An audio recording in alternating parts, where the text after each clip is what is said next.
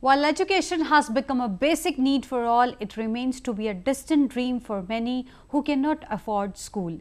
In order to fulfill the aspirations of slum children, a policeman in India has turned into a teacher.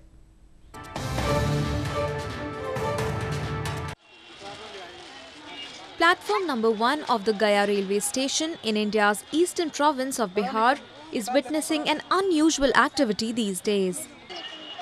A railway policeman, Praveen Kumar, who once used to chase away the rack-picking children from the platform, is now teaching them alphabets and numerals.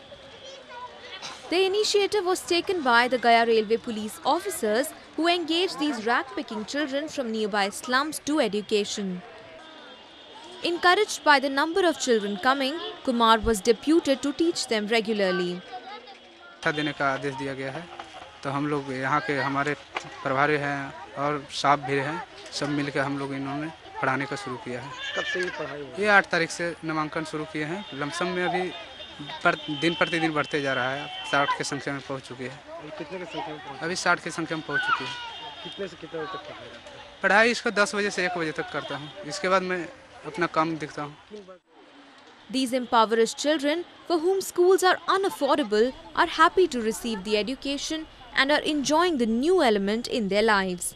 Now they are motivated to have big ambitions.